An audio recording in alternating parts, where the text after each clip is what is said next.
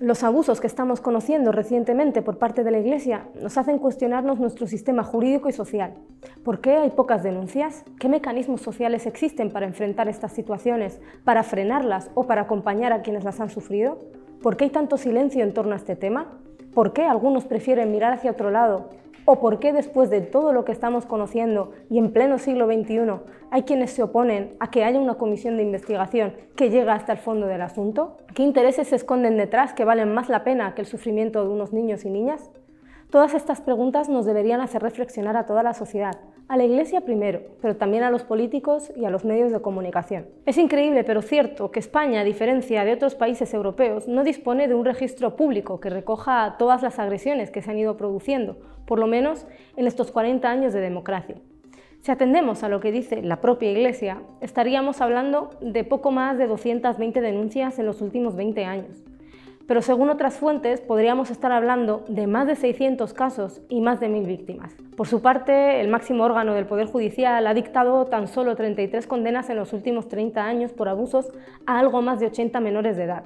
Evidentemente, según cuentan las asociaciones de víctimas, estaríamos hablando de muchísimos más casos. Como sabéis, hace unos días Unidas Podemos, Esquerra Republicana y Bildu han registrado en el Congreso de los Diputados una solicitud pidiendo que se ponga en marcha una comisión de investigación.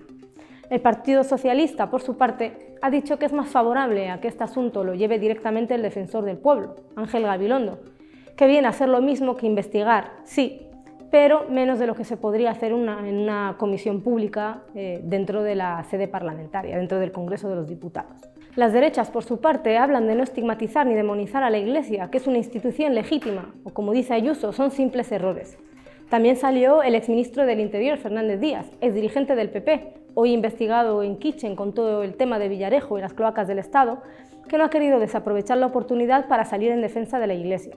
El vínculo con esta institución y su influencia dentro del partido de Casado siguen siendo hoy muy importantes. Recordemos que en su época como ministro llegó a condecorar a vírgenes por méritos policiales. En fin, lo que importa es que tanto el Partido Popular como Vox han votado no a crear una comisión independiente. Según ellos, todo este tema viene por la obsesión y la persecución de la izquierda a curas y sacerdotes. Sería gracioso, salvo que en esta ocasión estamos hablando de un asunto gravísimo por el que han sufrido miles de niños y niñas en nuestro país. Así que poca broma. ¿Y qué dice sobre todo este asunto la conferencia episcopal? Su presidente ha salido públicamente a decir que están en contra de esa comisión de investigación porque, según dicen, la Iglesia tiene suficientes mecanismos para que prevalezca la justicia. Lo de la separación de poderes entre Iglesia y Estado, bueno, pues ya tal. ¿Y las asociaciones de víctimas qué opinan? Pues que evidentemente hace falta voluntad política.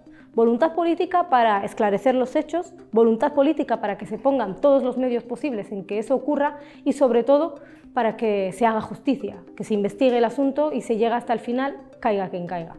Y eso es lo que llevan años demandando los familiares de las víctimas.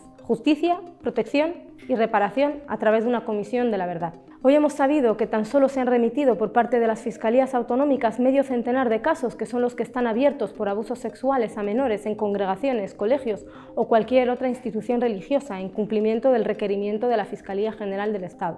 De todos estos casos yo me quiero detener hoy en uno, en Navarra. Recientemente un informe de la Universidad Pública de Navarra, encargado por el gobierno foral para averiguar la incidencia de la pederastía en la Iglesia en la región, ha identificado a 58 víctimas de abusos desde los años 40 hasta hoy.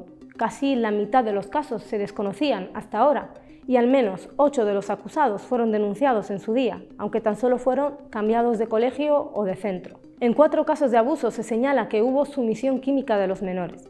Ni el arzobispado de Pamplona ni las órdenes involucradas han querido colaborar en la investigación. ¿Y por qué es importante el caso de Navarra? Pues simplemente porque es la primera vez que una administración pública en España, un ejecutivo, en este caso formado por el Partido Socialista, Gueró Abay y Podemos, lidera las investigaciones sobre el escándalo.